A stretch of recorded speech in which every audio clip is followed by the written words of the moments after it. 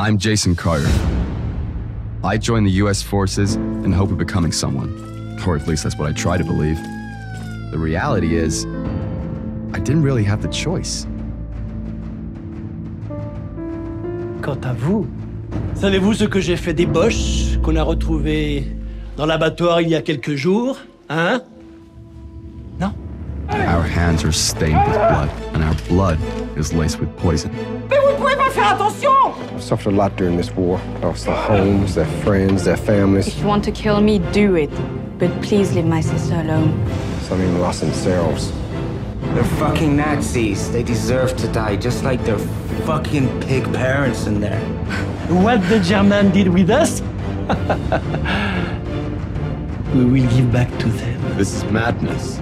A poison so powerful, it is capable of changing our way of approaching Madness. Yes danger, I like fear, madness. loneliness, and happiness.